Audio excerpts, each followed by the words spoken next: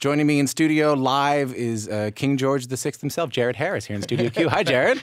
thank you. How are you? Good, good. Yeah, good. Thank you. You've, you've done a lot of different roles over your career. Uh, people listening to this might know you from Mad Men um, as Lane Pryce, uh, Ulysses S. Grant in Lincoln, Moriarty in the Sherlock films. Um, I actually don't have time to read the whole resume or we'd be off the air. Uh, but what was it about this particular role in The Crown, uh, King George VI, that, that really attracted you?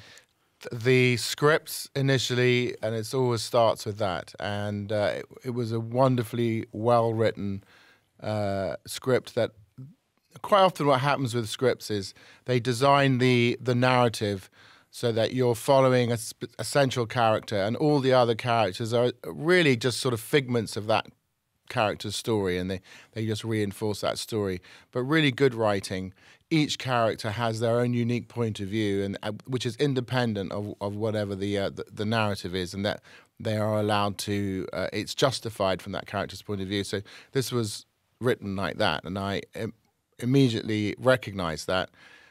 Uh, I was fascinated by the the. This is coming at a point of this person's life that um, hadn't been dealt with before and he had a, sort of a, a, a, wit and a warmth about him and a vulnerability and i um, i also love the idea of, of, working with stephen daldry whose work i admire very much mm-hmm. and uh, i think at that point uh, Claire was on board, and John Lithgow was on board, and Matt was on board. So you know, really good company. So when you, when you say this is a part of uh, the character that hasn't been dealt with before, I think uh, had this been like 10 years ago, I probably wouldn't know too much about the king at all. You know, in Canada, of course, we're familiar with the, the queen, Queen Elizabeth II, yes. but her but her father um, is, is is not. Uh, well, people of my generation maybe are not as familiar with him. Um, until the King's Speech came uh, out. Uh, so that's the thing. Until yeah. the King's Speech came out, yeah. so all of a sudden there's there's people know about him. Colin Firth mm. uh, uh play, plays uh, King George VI in that film. Did that, did that factor into you at all? Was that intimidating at all?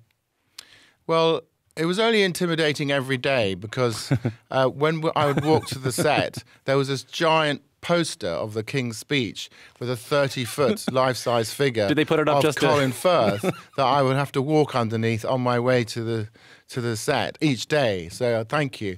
But actually, I, I ended up it ended up being a source of comfort for me because um, when you start digging into the research, of course, it becomes really obvious I'd look nothing like him. And I, there was no way I could look anything like him. I was just not, I honestly started to put on tons of prosthetics. And then I thought, well, you know, Colin didn't look anything like him either, and it didn't hurt his performance. So I'm not going to worry about that. Yeah, I'm, I'm, I'm sure that Netflix Netflix does the research. I'm sure I know they don't they don't disclose the budget to you or anything like that. But well, they disclose the budget right in the very beginning. But, they, but the, the, the, but the, point about the thing about the budget is this is a is an epic. Uh, it's an epic story. Yeah.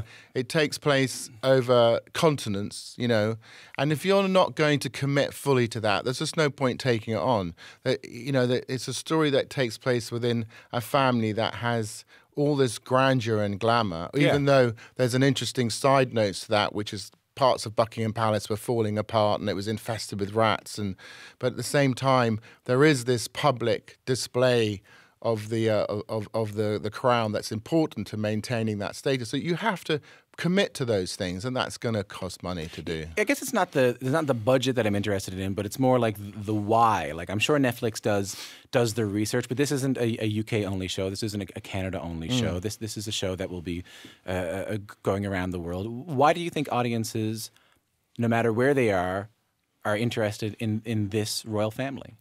That's a very good question, and I, I, factored into their decision to do this because, as Andy Harries told me this, and he said that there's this fascination. There is this fascination with it. They discovered that on doing uh, the Queen and then doing the audience, and um, and why is that? Peter Morgan says it's because, on the one hand, we we we think these people have everything. They have the perfect lives, and that and there's a sort of fascination that when we you look into it and you realize is that they they can't make choices that we can make in our lives every day. They're in a prison in a sense, and and that in a, makes us feel better about our own lives. You know, mm-hmm. and I, I, everyone has imagined what would it be like to be. Would it be good to be king? Yeah. Um, but then you look at this and you go. I think I've, I've I'm better off in a lot of ways Yeah. because you're free to you're free to be with whoever you want to be with. You can marry whoever you want to marry. You you can say whatever you want to say. You can actually exercise control over your life rather than have to ask permission from the political leaders. Am I allowed to do this? Am I allowed to say that?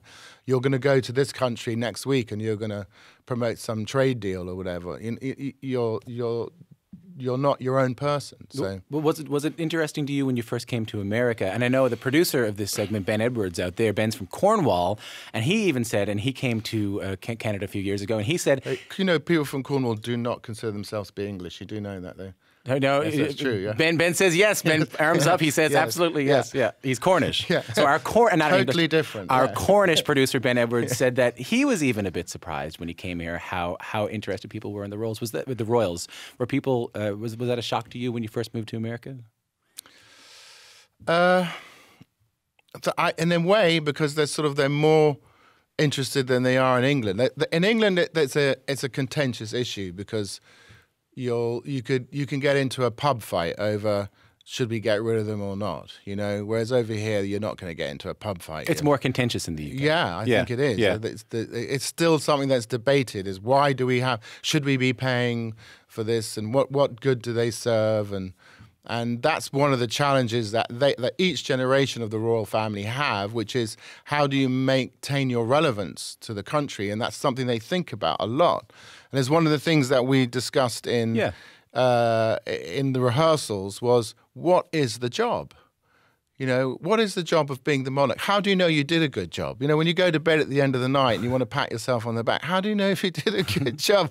Because there's did- no, there's no job description. Where did you land on that? It's literally what you want to make of it. And that's why Edward wouldn't have been a good king because um, uh, he's, he saw it. Interestingly, they both saw it as a burden. Yeah, this is this is uh, sorry, I should say this, Um, is is, George, who- George the Sixth's brother. Yeah, who uh, abdicated. who abdicated the Yes. throne. Yeah. um, they both saw it as a burden. He was into the sort of more into the kind of the privilege and the frippery of it, whereas the whereas Albert, who became George the Sixth, he saw it as a responsibility and a duty, and and really it was it, almost it was his experience during the Second World War that defined what the job was for him, and that was that he had to be a sort of source of uh, you know, of, of morale boosting for his country. And, and um, one of the things that they decided to do, for example, was they weren't going to leave London whilst um, the war was going on and while the Blitz was going on. They were going to live with exactly the same rationing and exactly the same conditions in terms of the, the, uh, the their electricity and water supply and stuff like that, um, so that they, they had no it would it was no different for them than for anybody else. And when Roosevelt visited during the war, he comes to visit Buckingham Palace. Eleanor Roosevelt wrote this letter back to her friends of hers back in the US, and she was shocked at the conditions that they were living in. You know, the, the sort of the, the, the meager portions of food that were available. There was a line in the bathtub, and you couldn't fill your bathtub above oh, that. Yeah.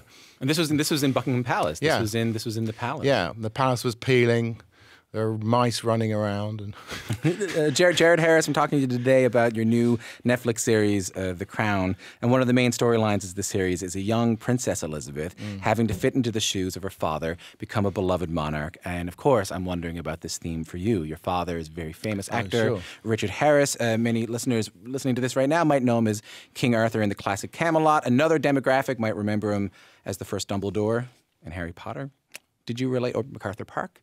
Did you did you relate to the uh, then Princess Elizabeth about having to follow in the footsteps of such a well-known father? uh, not really. no, because he wasn't. He wasn't the king. No, uh, but there must have been some pressure growing up. Not no, there was no pressure. I mean, pressure to do what? I mean, that's that's the interesting. I, I unlike um, her, I could choose what I wanted to do. She couldn't, Right. right. Right. Um, and that was again one of the things that that her father was upset, was desperately upset with his brother about. Was he knew what what that would mean for his his children and for his daughter. He didn't want this to come her way. He wanted her to have a normal life. But when you when you did choose though, when Yes. you did say, okay, well, I'm, oh, I'm when gonna you act, do yeah. choose, yes, then uh, of course. I mean, it, there's there's a uh, you know, it's a shadow, and you have to figure out how you're going to establish yourself and get out of the shadow. But at the same time, you know, I, I I knew a lot about the business from observing him and from talking to him and from seeing how he would interact with it and learnt a lot. You know, so. Uh, and he was a, a source of inspiration. You know, he, my father came from very, he he he came from a, a middle class family in Limerick that had really very little interest in the arts. So for him to have clawed his way out of there and become successful was incredible uh, an achievement, an act of determination and will. Mm-hmm. You know, and I am I had a, I'm beneficiary of that. So. Right. And, and, and when you made that, but he decision, couldn't open any doors for me or anything like that. It wasn't like he could. He, you, you, that doesn't happen in the business because everybody's in the in this business, as I'm sure it is in yours. Every decision that somebody makes can get them fired. Right. So uh, no one is going to give you a job um, as a favor to somebody else because if you mess that job up, then that's your head uh, on the chopping block as well as the person that you've given the favor to. So, but but I got to guess that the pressures. Not, not, I know the pressure is an interesting word, but like when you went to America to, to study drama, sure. you, you, studied acting in America. Was, was that? I, I went to no, It was at Central School in London. But you, you went to America as well, right? You College. To, I went to Duke University. Yeah. For university, yeah, yeah for university. Yeah. Did you? You know, did you did it feel different over here or, or over in, in America because your father was this very esteemed actor in Britain? There, there's there's a chance that when you went to America, people weren't. Well, there's a different attitude uh, in England and to America, and in England. Um, the the attitude is sort of more a slightly embarrassed one, which is, oh God, he's probably not going to be awful, and you know, it's going to be really embarrassing. And um, who's who's this? This, this, is, this is people thinking about you want to go and follow in your father's footsteps. Oh into right, the business. yeah, that's probably not going to work sort out. Of desperate lack of imagination. And yeah, you really, you know. Whereas in America, they think, oh, maybe you know, who knows? Maybe lightning strikes twice. Let's have a look. Whereas over there, it's like, oh, you know, they. Uh, it's a difference of, and it's you know, I the, the other difference of attitude is, in England, there's the attitude is, well, for example, it's. Uh, uh, you you want to do something that nobody's done before, and in England they'll go, oh well, gosh, you might you might not want to you want to rethink that. Nobody's done that before. Whereas in America they go, hey, no one's done that before. Let's give it a shot. right on, right on. So um, we don't have much time left with you. We're, we're really? Gonna, we're, yeah, we're gonna we got about a, we got about a minute left. You, you're, you're, going on to a million other interviews to, to, to talk about this thing. I, I do appreciate. It. Here comes the killer question. Oh no, I have nothing. Oh okay. no, it's all no, no, no. We're gonna we're gonna close it up right now. Oh. I, have, I don't have no. So so why did you? No, yeah, I don't. I don't have anything like that. But I, maybe if the question I, I'm trying to think of. The killer question. no, I, like I, I think after what you said about your father, and, and you said something earlier that I'm really interested in. I don't. I hope we have time for it. Where you said, you know, my, my father gave me advice. I, I learned a lot from my father. I, I, think it, must be advantageous. It must be so so nice to know that you're following in the footsteps of your father, no matter what they what, what he did. You know, if your if your father was a teacher and and you were a teacher, right. You, you, you, it'd be great to follow in those footsteps. Uh, uh, that's one of the things I I've been asked this question a lot, and I, well, our parents are mythical figures to us. No matter know? what they do. Yes, and whether your father he's a, he was a teacher, your mother was a teacher, or a police officer or whatever. They are mythical figures, and and if you you want to go and follow into those footsteps, it's the same thing. It's just that more people know about who that person is if they were a singer or a film actor or something like that. So, what did you learn from him? What did you learn from him? Well, what I learned was. uh, down, we don't have time. Uh, what I learned was it's sort of specific things. I mean, um, he gosh, I watched how he he dealt with the business side of it, um, um, in terms of the he handled how he handled his career rather than allowing other people to handle it or other people to make choices for him. Um, he he was an incredibly determined person. I mean, you know, for okay, quick story. He uh, when Richard Burton t- said he didn't want to play King Arthur in Camelot, there was this huge scramble about who was going to play King Arthur in Camelot. Yeah. And um, Laurence Harvey had played it in London, so the assumption was it would probably be Laurence, but it might be somebody else. I found all these telegrams after he died, and he sent to Jack Warner saying, um, Vanessa Redgrave, six foot one. Richard Burton, five foot seven. Richard Harris, six foot four. You know, I'd be much better for this part. And he was campaigning quite heavily for it. And, um, and they weren't interested in him for it. And he, he finds out that the director is going to a party in Palm Springs. So he goes down to Palm Springs and he finds someone who's working the party, who's the same size of him as he is, pays him money to swap clothes. No way. Goes carrying food around the table. Like, uh, yeah, like like, a working- waiter, yeah, working yes. in the- yeah. yeah. at the party. And the conversation is who's going to play King Arthur. And he says, Well, there's only one person for all, that's Richard Harris. And the director looks up and sees it's him. He goes, God, would you ever leave me alone? You've been bugging me. And he says, I will if you'll give me an audition. He says, that all it will take? He says, Yes, I'm not asking you to give me the role. I just want an audition. He went, If I say yes, will you go away? He says, I will. And he said, Okay, I'll give you an audition. That's, a, that's an incredible story. Jared Harris, thanks so much for coming in. That was actor Jared Harris. He plays King George VI. He didn't have to impersonate a waiter to, to do it either. In the new Netflix show, The Crown. Oh no! You know, well, that, to be con- uh, the next interview. the new series premieres on Netflix next Friday, November fourth. Jared Harris joined me live right here in Studio Q.